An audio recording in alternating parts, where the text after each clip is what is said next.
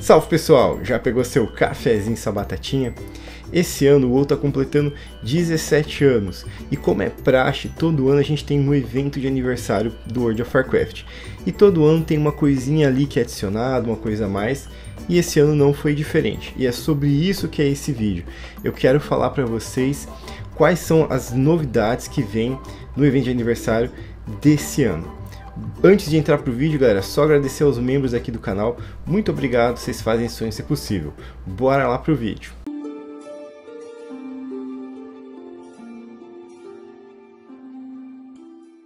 O evento de aniversário iniciou hoje no dia 15 e ele vai se estender até o dia 6 de dezembro. Então vai ter algumas semanas que você vai estar tá indo ali poder repetir aquilo que tem para fazer nesse evento.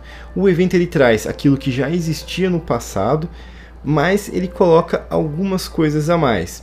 Dentre elas, um World Boss que vai te dar alguns loots específicos e algumas coisas novas nos comerciantes, e é sobre isso que eu vou falar. O World Boss é o Armageddon, ou em inglês o Doomwalker, que, que vai tá voltando pro Oven lá do TBC, só que dessa vez você vai lutar com ele ali em Tanares. Na frente ali da Caverna do Tempo é onde você vai encontrar o respawn desse World Boss.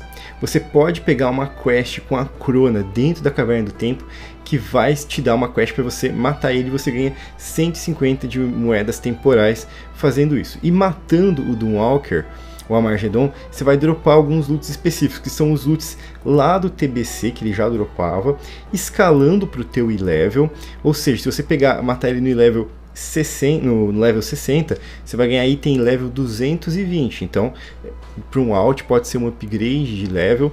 Alguns itens foram adicionados a, a ele, como por exemplo um cinto de malha, um, um, uma ombreira de couro e um pé de placa, que são novos recolors de transmogs, não são novos transmogs, são só recolors. E talvez o drop mais interessante é o Akama Zed, que é o machado de uma mão que o Akama usava lá no TBC e até então nunca foi possível de ser usado como transmog.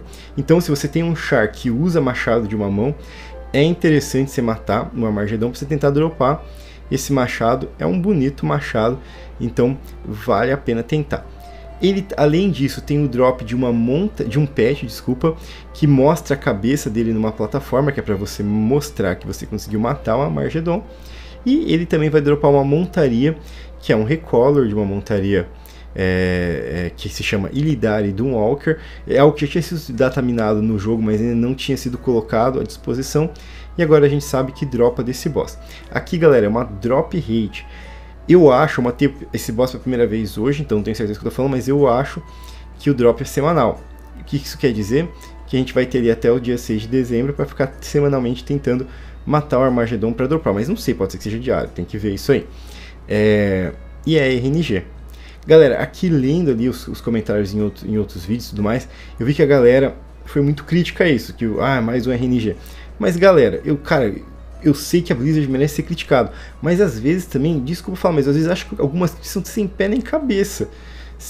Será que era melhor que o drop fosse 100%?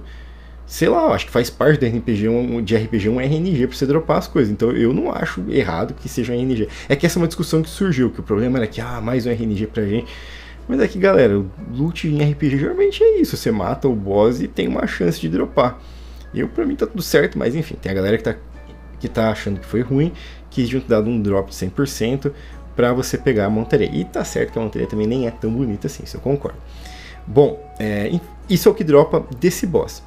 Além disso, teve uma nova adição ao vendedor é, de Time Walking, aquela trollzinha que fica ali de, no, na esfera principal ali da, da caverna ela vai te vender um dragão mecânico que se chama Timeless Mechanical Dragonin, que ele vai custar só 200 moedas temporais, facinho de você adquirir, e você consegue ali teu dragãozinho mecânico, bem legal, vale a pena se você tiver moeda temporal, ir lá pegar. E se você não tiver, faz a quest do Armagedon, já vai te dar 150, que é praticamente tudo que você precisa para comprar esse pet.